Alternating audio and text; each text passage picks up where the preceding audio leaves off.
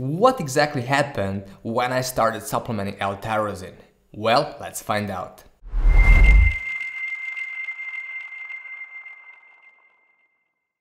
Hey, what's up, Greg here, the founder of Your Inception. Welcome to my channel. If you want to learn top secrets about nootropics and supplements, then subscribe below to start your journey. Today, I want to talk about my experience with L-tyrosine. Now, this is a very interesting compound. It is a conditionally essential amino acid that is growing in its popularity. And the reason for that is that some studies indicate that if you take this compound when you or before you are under severe uh, stress or when you're working on some super demanding uh, cognitive tasks or even physical tasks if you're working out, uh, it can potentially improve your cognition or even your physical output.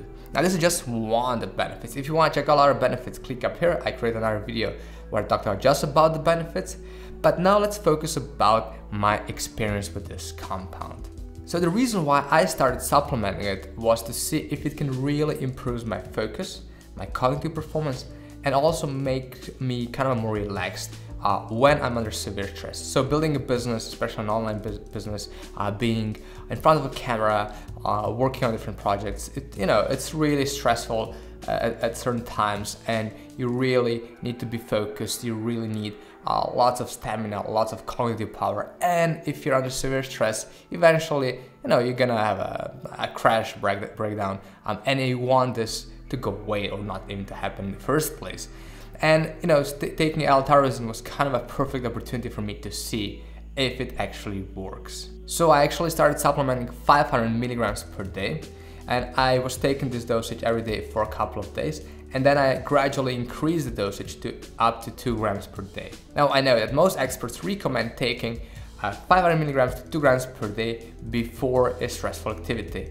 If you take this on a daily basis for longer periods, this is kind of a dosage to take. You can now and then take even a higher dosage, I think about 100 to 150 milligrams per kilogram of your body weight. Uh, well, I can check this out for you or you can check it out. I'll post some links below where you can learn more about this. Uh, but if you take L-tyrosine on a daily basis, this is kind of the dosage you should have in your mind. Now the thing is that since this is a conditionally essential amino acid, um, you know, you don't really need to worry about it that much. You can get enough from food, especially if you eat foods uh, high in protein. If you're vegan or not, uh, if you eat lots of meat or not, well, it doesn't really matter. Uh, you can get enough. So I honestly didn't expect much uh, to happen, even though I saw lots of positive comments on Reddit, on different forums and Facebook groups, um, and you know people really had a really good experience with this um, amino acid. But honestly, looking at the science, I wasn't really sure. By the way, guys, if you like this video, please press the like button below. So after a couple of weeks of supplementing L-tyrosine, what exactly happened?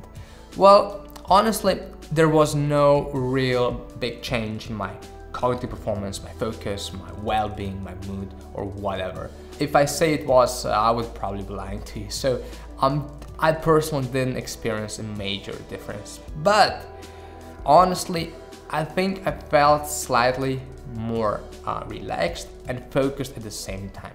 Now the important thing about L-tyrosine is that it helps to produce different neurotransmitters, adrenaline, noradrenaline, and dopamine. And when you work for longer periods uh, in stressful situations or if you're working out, uh, those uh, neurotransmitters get depleted faster than usually. Um, so if you take this compound prior to this activity, like 30 minutes to one hour prior to this activity, there's a chance um, that this depletion will, you know, be slower or the production of the neurotransmitter will happen at the same time. Um, so you're gonna feel better eventually, or um, instead of, you know, feeling super stressful and, and have your brain not functioning at all, um, L-tyrosine may help to kind of slow down those effects. That's the theory.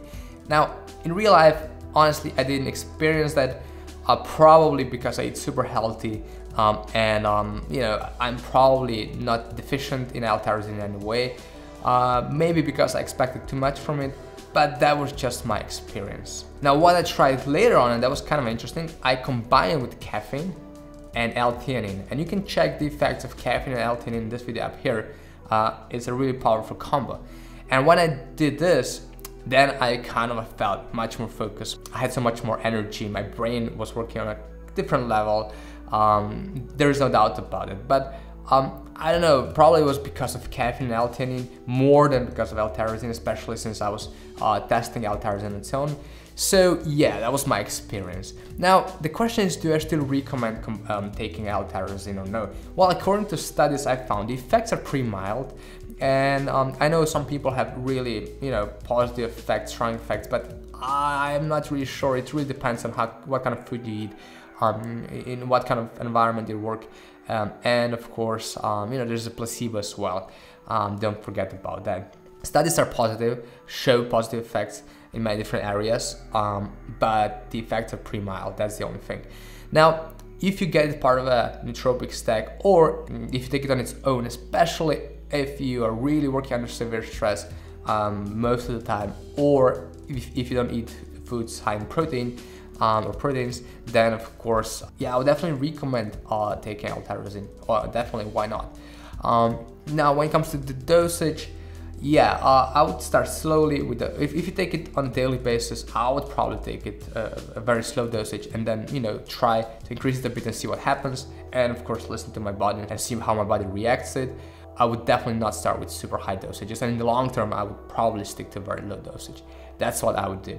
Um, and yeah, Overall, it's a very interesting compound, um, has some potential. Um, we lack some more studies to see real effects, real strong effects. Um, but in general, um, it shouldn't do any harm. It may work positively uh, on you. It may provide some positive benefits. And because of that, yeah, it's definitely worth trying. Alright guys, that's it for this video. Thank you for watching. If any questions, don't hesitate to contact me. Don't forget to follow your Inception Facebook and Instagram and I hope to see you soon again. Take care.